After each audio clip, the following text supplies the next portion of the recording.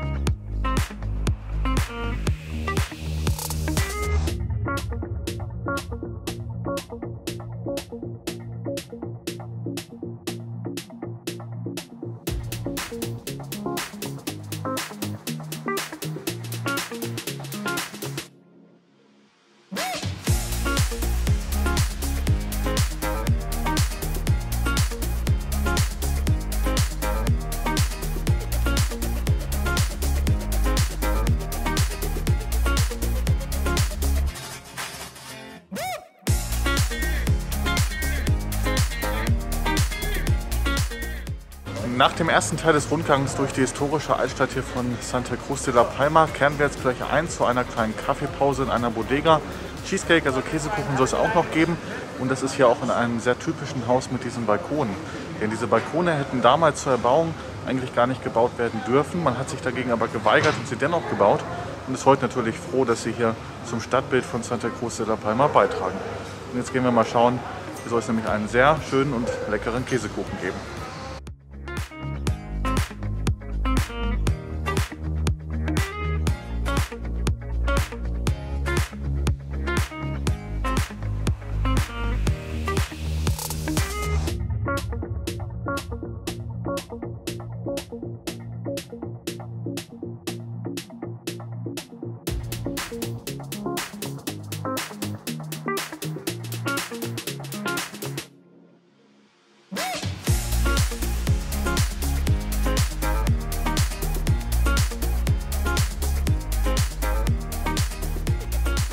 Zurück vom Ausflug geht es jetzt ins Brauhaus zum Mittagessen. Hier wird man ja wie immer schon am Platz bedient. Das hat sich ja nicht geändert im Vergleich zu vor-Corona-Zeiten. Hier gibt es dann als Vorspeise einen kleinen Marktsalat, eine Kartoffelsuppe, dann gibt es Kalbsrahmgulasch, ein halbes Hähnchen vom Grill, Leberkäse, Nudeln, Weißwürste und als Dessert noch Apfelkompott. Das Ganze dann hier im typischen Brauhaus-Flair.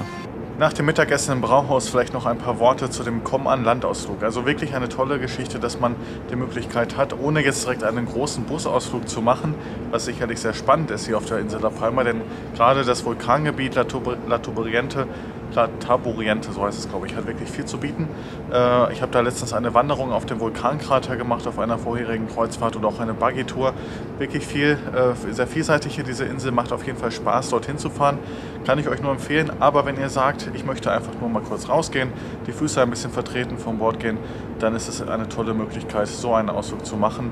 Anderthalb Stunden sind wir spaziert, haben dann noch eine Stunde Mittagspause in der Bodega gehabt. Da fand ich tatsächlich etwas schade, dass das mit den Abständen ja, äh, nicht ganz regelkonform vielleicht auch war. Also ähm, hier und da konnten die anderthalb Meter nicht eingehalten werden. Da wünsche ich mir dann doch eher ein bisschen mehr Freiraum und das Ganze an freier Luft zu machen. Und es gab ja auch Außenplätze, wo man es durchaus hätte auch anbieten können. Ja, ansonsten aber wie gesagt, toll, dass es sowas gibt und es gibt es in jedem Hafen. Ähm, man kann also überall einen Kommandantauszug entweder zu Fuß oder auch teilweise per Bus machen, um dann einfach mal kurz rauszukommen und dann nachher das Bordleben wieder zu genießen. Immer wieder, wenn ich auf La Palma bin, finde ich ja, dass zusammen mit La Gomera die beiden Inseln die schönsten Häfen der Kanarischen Inseln bieten. Denn, wie man hier sieht, ein großartiger Ausblick vom Schiff aus. Das heißt, dass wenn man jetzt hier mal keinen Ausflug unternehmen sollte und sich für einen entspannten Tag an Bord entscheidet, also das ist wirklich ein tolles Panorama, wo es einfach auch dazu einlädt, sich auf die Sonnenliege zu legen und dann hoffentlich bei eurem Anlauf, wenn ihr mal hier seid, auch die Sonne zu genießen. Heute ist ja eher bewölkt, aber das ist schon sehr schön hier. Zum Abendessen geht es dann heute in das Marktrestaurant. Normalerweise ja ein Buffet-Restaurant und damit ja eigentlich auch sogar das beliebteste hier an Bord. Ja, die Buffetbereiche sind zurzeit alle hübsch dekoriert. Essen findet man hier allerdings nicht, denn das wird hier angerichtet. Hallo. Und das äh, wird dann eben am Platz serviert. Und da schauen wir jetzt gleich mal in die Menükarte. Und angekommen am Platz findet man dort auch die Menükarte. Heute die Empfehlung des Restaurants Sauerbraten mit Rohkohl und Semmelknödeln. Erbsensuppe ist heute die Suppenspezialität. Und zum Abendessen haben wir dann heute Vitello Tonato, Auberginentörtchen, Hauptgang dann entweder Perlhuhnbrust, Zanderfilet oder Gemüsepaella und als Dessert dann Brownie. Und auch hier gibt es tägliche ja, Variationen, die jeden Tag geboten werden und auch für die Kleingäste. Und das Ganze heute Abend hier am Heck des Schiffes mit schönem Ausblick auf La Palma. Das ist ja immer so das Highlight des Marktrestaurants, weshalb es sich ja auch so an großer Beliebtheit, Beliebtheit erfreut, dass man hier einen schönen Ausblick nach draußen hat.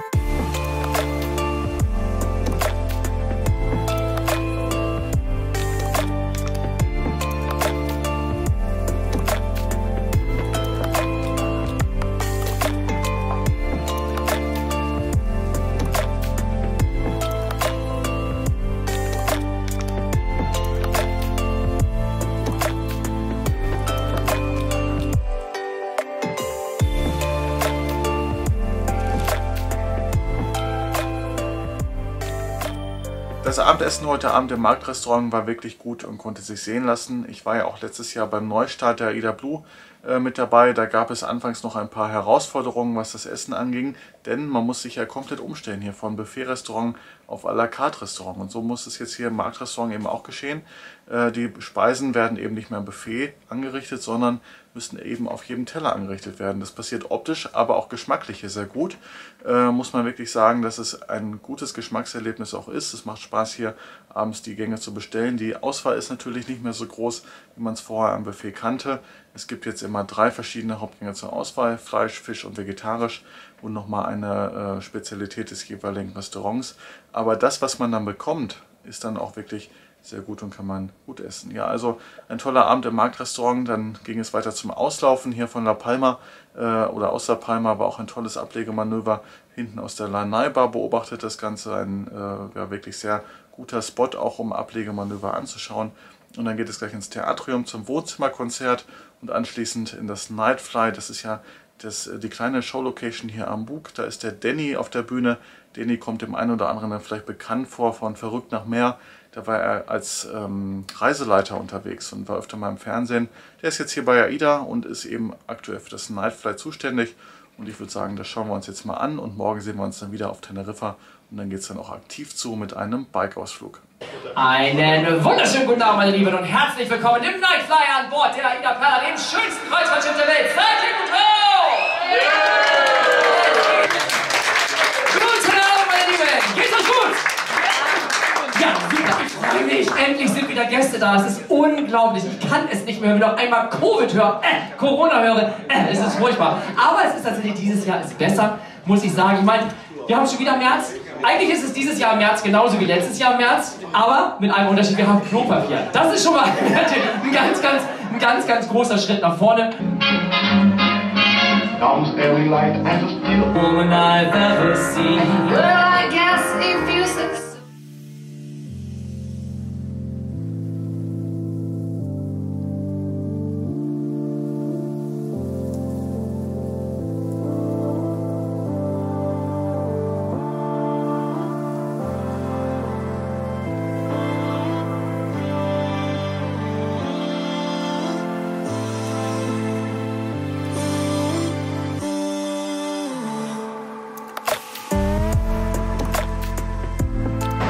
Morgen von Teneriffa. Ja, wir haben den Hafen erreicht heute Morgen, einen wunderschönen Sonnenaufgang gesehen und dann hier in den Hafen langsam reingeschlichen.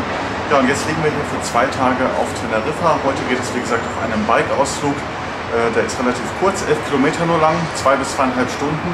Äh, ja, ist eigentlich relativ unüblich, dass sowas im Programm ist, aber hier in Santa Cruz de Teneriffa wird das Ganze geboten und das finde ich eigentlich ganz schön, um hier die Stadt einfach mal ja, mit einer kleinen Fahrradtour zu erkunden. Natürlich hat die Insel weit mehr zu bieten. Man kann in das Anaga-Gebirge, man kann zum Vulkan Teide und äh, weitere Highlights, äh, zum Beispiel auch eine, eine Katamaranfahrt mit Wal- und Delfinsichtung äh, habe ich hier mal gemacht. Das war auch sehr schön. Der Loro Park öffnet exklusiv für die Gäste von Naida Perla. Also die Ausdrucksvielfalt ist hier groß, das Ganze eben sogar an zwei Tagen, sodass man hier genügend Zeit hat, die Stadt zu erkunden. Ja, der Nachteil eines Overnights äh, ist eben, dass man ja, zwei Tage jetzt auf dem Hafen liegt. Ähm, leider ist diese Balkonseite hier auch die dem Hafen zugewandte Seite. Das heißt, man hatte die Straße, man hatte so ein bisschen die Containerabfertigung. Und vielleicht habt ihr es auch gerade im Hintergrund schon gehört. Ja, es bringt natürlich äh, laute Geräusche mit sich. Das ist so ein bisschen schade. Die Gäste, die auf der anderen Seite wohnen, haben es natürlich deutlich besser. Aber gerade Teneriffa ist eigentlich so mit der mit Gran Canaria zusammen sind so die lautesten äh, Industriehäfen hier auf den Kanaren. Normalerweise, also Lanzarote, Fuerteventura, da sollte es deutlich ruhiger sein. Aber gut, so ist es eben. Äh, Straße statt Meer hier die nächsten Tage. Und äh, dann schauen wir mal, was der Bike-Ausflug heute so bringt.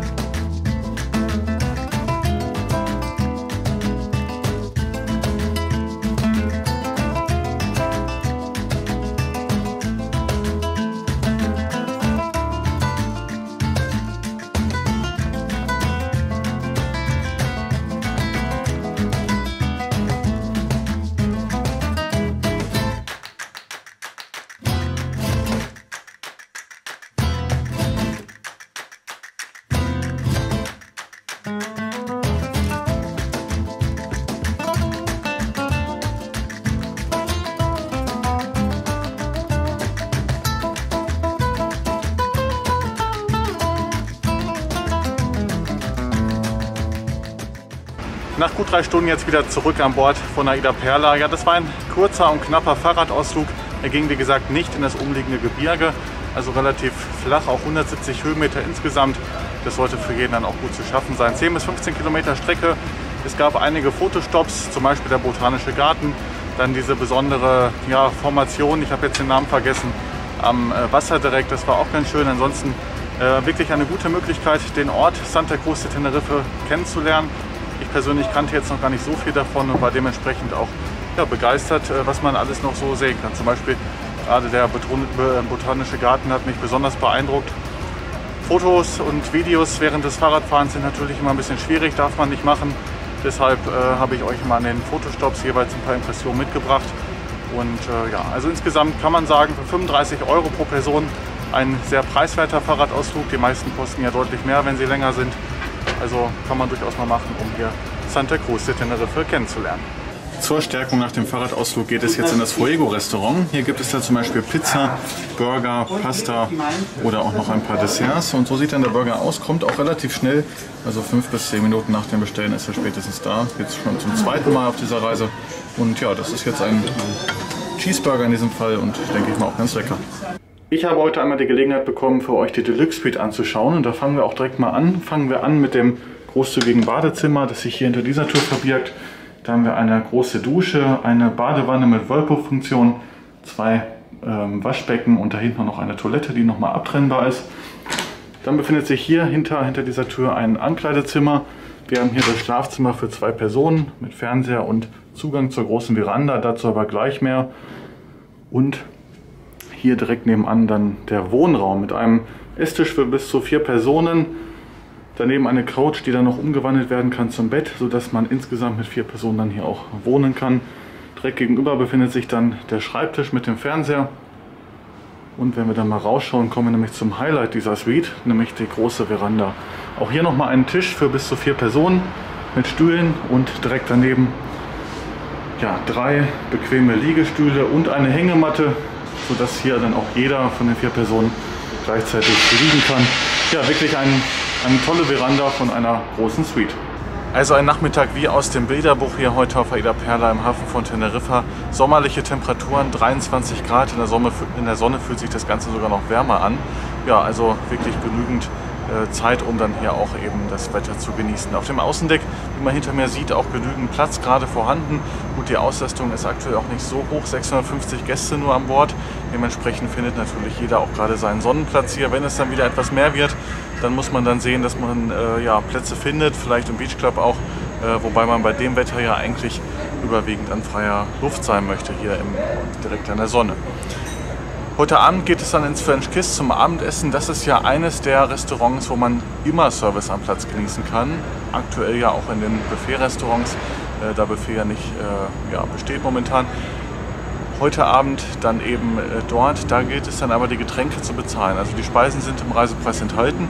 Die sind in der Regel auch hochwertiger als die in den Buffet-Restaurants und äh, ja, gegen eine kleine Gebühr für die Speisen sozusagen genießt man dann dort feineres Essen in einer tollen Umgebung. Insgesamt muss man aber wirklich sagen, dass die letzten Abende oder nicht nur Abende, sondern auch Frühstück und Mittagessen vom Service her wirklich sehr gut waren. Also die haben ein tolles System entwickelt, äh, wo sie dann eben Kellner haben, die Essen bringen und Kellner haben, die Essen abholen, sodass es auch wirklich äußerst hygienisch passiert und vom Service nicht nur bemüht, sondern wirklich mehr als das. Sie geben alles, um die, Gäste hier zufrieden, um die Gäste zufriedenzustellen. Sie fragen nach, ob alles passt, ob das Essen warm ist etc. Ähm, also sobald man da mal irgendwo eine kleine äh, Bemerkung hat, was vielleicht nicht passen sollte, dann wird alles getan, damit das sofort umgesetzt wird, damit es dann auch sofort passt. Das einfach mal nur so als Randbemerkung, denn das ist mir die, nächsten, die letzten Tage aufgefallen, dass es hier äh, nahezu ausnahmslos wirklich äußerst guter Service an Bord ist. Die Speisekarte hier im French Kiss wird dann auch über den QR-Code gescannt, sodass sie dann kontaktlos auf dem Handy abzurufen ist. Als Vorspeise haben wir zum Beispiel Beef Tartar, Entenregget, Weinbergschnecken oder eine französische Vorspeisenvariation. Dann gibt es zwei Suppen, den Nizza-Salat, ein Pastagericht. Zum zu den Hauptgerichten im Fischbereich gibt es gebratene Garnelen oder ein gebratenes Doradenfilet. Im, äh, als Fleisch gibt es ein, ein rosa gebratenes Rinderfilet, eine Entenbrust oder eine geschmorte Lammhaxe. Dann gibt es auch noch ein vegetarisches Gericht. Es gibt Backwaren, ähm, Baguettes oder Croissants und süße Desserts, Creme Brûlée, Mousse au Chocolat, äh, Zitronentart, Apfelkuchen, Spezialität etc. Also eine überraschend große Speisekarte. Die Speisen sind wie gesagt alle im Reisepreis enthalten. Das Abendessen im French Kiss Restaurant war heute Abend wirklich richtig gut. Ich war total positiv überrascht worden. Es gab insgesamt vier Gänge. Zur Vorspeise gab es Beef Tartar, als Zwischengericht dann einen Nizza-Salat, als Hauptspeise dann ähm, Dorade, also Doradenfilet. Ähm, richtig, richtig gut gewesen. Alles optisch und geschmacklich auf top. Und als Dessert dann noch Creme Brûlée. Auch das war noch gut umgesetzt worden. Man muss wirklich sagen, 10 von 10 Punkte für dieses Abendessen. Service war auch sehr gut, kann man nicht anders sagen. Und ähm, ja, das Ganze dann eben im Reisepreis enthalten. Nur die Getränke gilt es zu zahlen. Wenn man da zum Beispiel jetzt aber die Kosten nicht in die Höhe treiben lassen möchte und zum Beispiel einfach nur eine Bionade oder so bestellt für 2,80 Euro, hält sich die Investition für ein wirklich sehr hochwertiges Abendessen in French Kiss doch sehr in Grenzen. Ja, heute Abend noch ein bisschen Programm im Theater. Zum einen Wer wird Millionär? Theatrium, nicht Theater, sorry. Wer wird Millionär und anschließend noch eine Show. Im Beach Club ist dann noch eine Jazz Night mit der Pianistin. Ja, und dann sehen wir uns morgen früh wieder. Weiterhin hier am Hafen von Teneriffa, denn heute Abend legen wir nicht ab und bleiben noch eine Nacht im Hafen. Guten Morgen am zweiten Tag hier im Hafen von Teneriffa. Ida Pella hat ja hier über Nacht gelegen, sodass jetzt heute noch mal ein weiterer Tag zur Verfügung steht, um die Insel zu erkunden. Wie gestern schon gesagt, sie ist ja unglaublich vielfältig und da haben die Gäste heute wieder viele Möglichkeiten, was zu machen an Land. Ich bleibe heute an Bord, um nochmal ein bisschen das Bordleben hier einzufangen. und äh, wahrzunehmen. Das beginnt damit, dass es heute Vormittag zum Spa geht, dass ich mir den einmal anschaue, den Bereich. Denn es ist aktuell so, dass die Sauna nicht mehr in dem normalen Wellness-Paket mit enthalten ist. Normalerweise hatte man eben die große Wellness-Oase und die Saunen, wenn man dort gebucht hat. Das Hygienekonzept sieht es jetzt so vor, dass äh, die Saunen extra zu buchen und zu bezahlen sind. 80 bis 90 Euro ist da ungefähr der Preis für. Äh, dafür hat man dann aber auch wirklich eine Sauna für sich komplett alleine und hat da eben pro Kabine dann eine kleine äh, Privatsauna sozusagen für einen gewissen Zeitraum. Ja, ich gehe gleich mal runter. Es gibt ein Vormittagsticket, das kann man zum Beispiel buchen, kostet 15 Euro von 7 bis 12 Uhr. Ähm, das ist ja dieser Sauna- oder Wellnessbereich ist ja auch direkt unter der Kabine hier. Wir sind auf Deck 9, auf Deck 8 ist dann der Wellnessbereich mit den Außenliegeflächen äh, und dann noch zusätzlich auch Innenbereiche. Es ist jetzt schon nach 9 Uhr. Die äh, Whirlpools sind immer noch abgedeckt. Woran das jetzt liegt, weiß ich nicht. Denn äh, ja, ab 7 Uhr ist es ja schon geöffnet. Wird dann sicherlich im Laufe des Tages aber auch noch, äh, ja, werden auch die Whirlpools noch öffnen. Das schauen wir uns gleich mal an und ansonsten wird heute Vormittag auch noch einiges geboten. Ähm, zum Beispiel Dart, Shuffleboard, ähm, DJ-Musik in der Lanai-Bar, Lektorvorträge.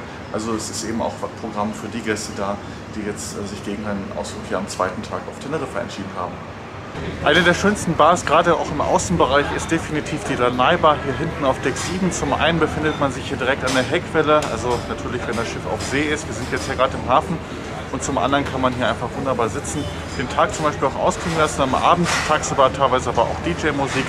Sogar jetzt gleich hier im Hafen von Teneriffa nachmittags so ein bisschen einen Chill-Lounge. Ja, und hier gibt es dann eben die Getränke, die übrigens nicht im Reisepreis enthalten sind. Also man kann Getränkepakete dazu buchen bei AIDA. Ihr kennt das sicherlich, die meisten von euch sind sicherlich auch schon mal mit AIDA gefahren. Ähm, es sind Tischgetränke enthalten, das heißt Softdrinks, Bier und Wein sind zu den Tischzeiten in den äh, Buffet-Restaurants enthalten. Ansonsten äh, in den Bars muss man eben entweder bezahlen oder Getränkepakete dazu buchen. Äh, das muss man einfach wissen und in den Preis einkalkulieren, wenn, man, wenn es einem wichtig ist, tagsüber oder auch abends dann nochmal den einen oder anderen Drink zu sich zu nehmen. Ja, ansonsten wirklich schön hier zu sitzen und heute auch auf Teneriffa 24 Grad sommerliche Temperaturen und das Ganze im März.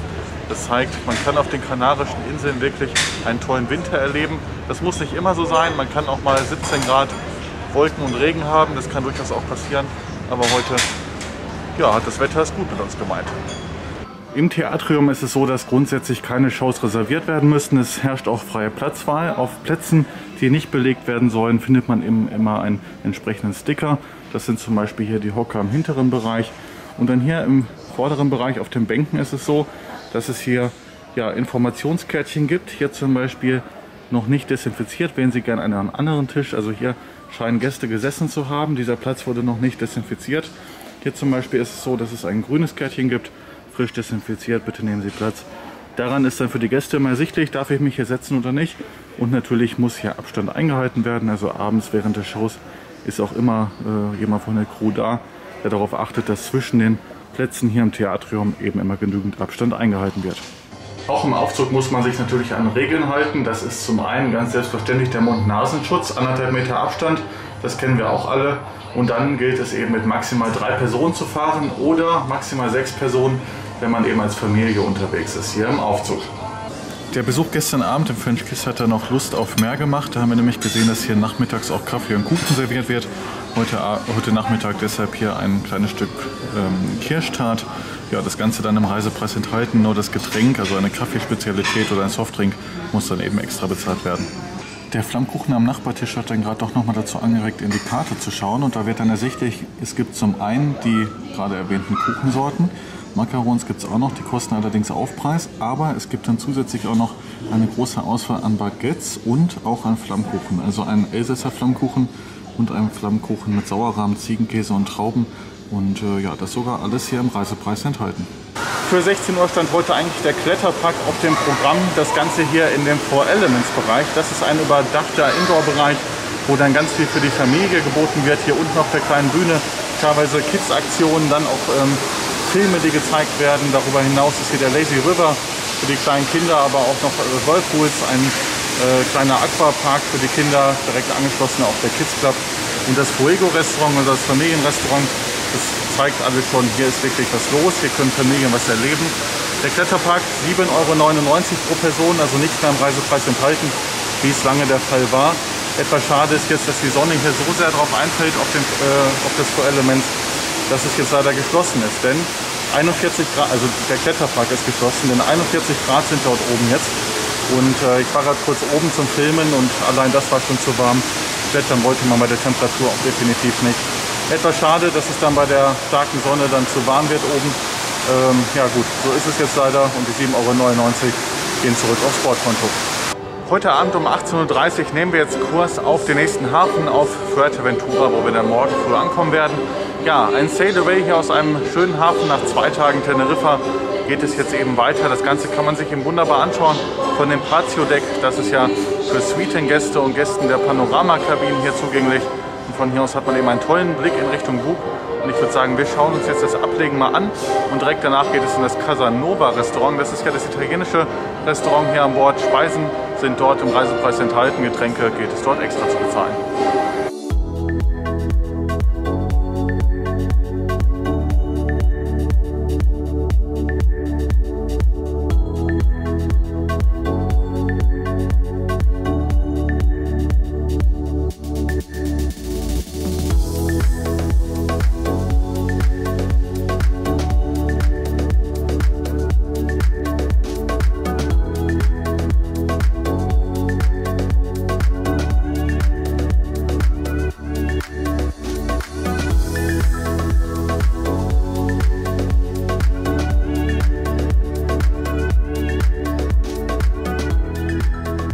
Heute Abend wieder ein sehr leckeres Menü gehabt. Dieses Mal im Casanova Restaurant, muss man wirklich sagen. Sehr schön umgesetzt, toll angerichtet, aber auch geschmacklich richtig gut gewesen. Und äh, meine Empfehlung ist wirklich, nutzt diese Spezialitätenrestaurants. Das sind hier zum einen das French Kiss, das Casanova und das Brauhaus, denn dort habt ihr wirklich einen tollen Service am Platz. Das Ganze in hochwertiger, äh, also vor allem im French Kiss Casanova, hochwertiges Ambiente und äh, ein Menü, das ich wirklich absolut sehen kann. Schon richtig toll. Ja, ansonsten heute Abend dann noch ein Gastkünstler auf der Bühne im Theatrium, ein Zauberer und heute Abend im Nightfly dann wieder der Danny, der auf der Bühne steht und eine, Night, äh, eine Late-Night-Show macht. Äh, also heute Abend dann auch noch ein bisschen Programm. Im Beach Club ist glaube ich auch noch mal was los. Also äh, fürs Abendprogramm ist definitiv gesorgt. Ja, ich hoffe, euch haben hier die drei Tage gefallen in diesem Vlog. Ich habe euch ja mit auf Ausflug genommen, heute noch mal einiges vom Bordleben gezeigt.